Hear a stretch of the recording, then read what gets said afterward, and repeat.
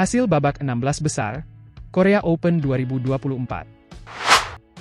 Di babak 16 besar ganda putra, Leo Roli Karnando, Bagas Maulana, berhasil mengalahkan ganda putra Malaysia, Nur Muhammad Azrin Ayub Azrin, Tan Wee Kiong, dengan skor 21-17 dan 21-11 dalam durasi 29 menit.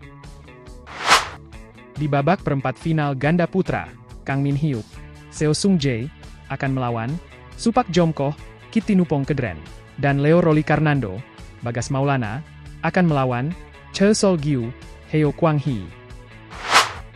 Di babak 16 besar ganda campuran, Rehan Naufal Kusyarianto, Lisa Ayu Kusumawati, harus kalah dari pasangan Korea, Kim Won Ho, Jong Na En, dengan skor 21-19, 10-21, dan 21-23, dalam durasi 1 jam 7 menit.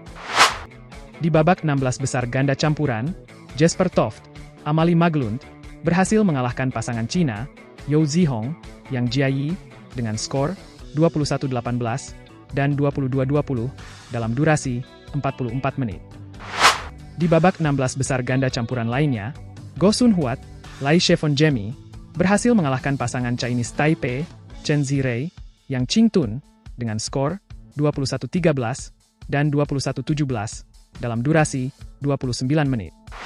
Di pertandingan babak 16 besar lainnya, Yang Po Suan, Hu Ling Fang, berhasil menang atas pasangan Malaysia, Tan Kian Meng, Lai Pei Jing, dengan skor 14-21, 21-16, dan 21-14 dalam durasi 53 menit. Di babak 16 besar ganda campuran, Ye Hong Wei, Nicole Gonzalez Chen, berhasil mengalahkan pasangan Malaysia, Wong Tin Chi, Lim Chiu Sin dengan skor 21-18 dan 21-17 dalam durasi 30 menit. Di babak perempat final ganda campuran, Kim Won Ho, Jong Na En, akan melawan Yang Po Suan, Hu Ling Fang, Kuo Sin Hwa, Li Qian, akan melawan Jesper Toft, Amali Magelund.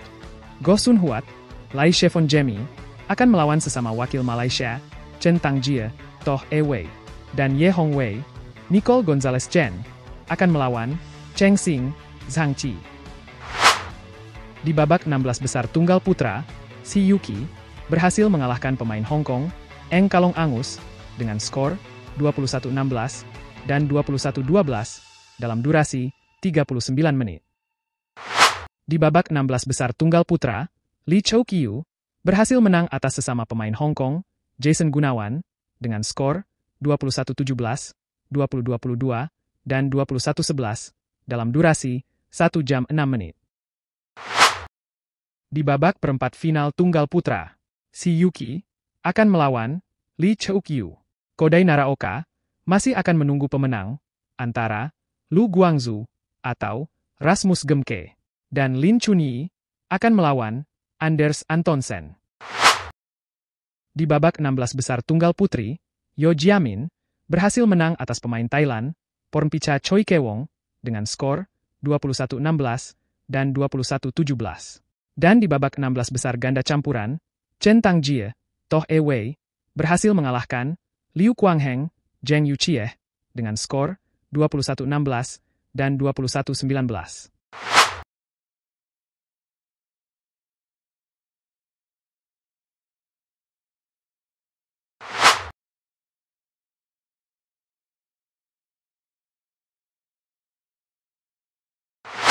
Dan Muhammad Shohibul Fikri, Daniel Martin, akan melawan ganda putra Chinese Taipei, Fang Chihli, Fang Zhenli.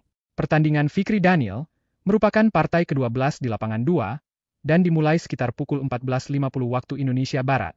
Rekor pertemuan 1-0 untuk keunggulan Fikri Daniel.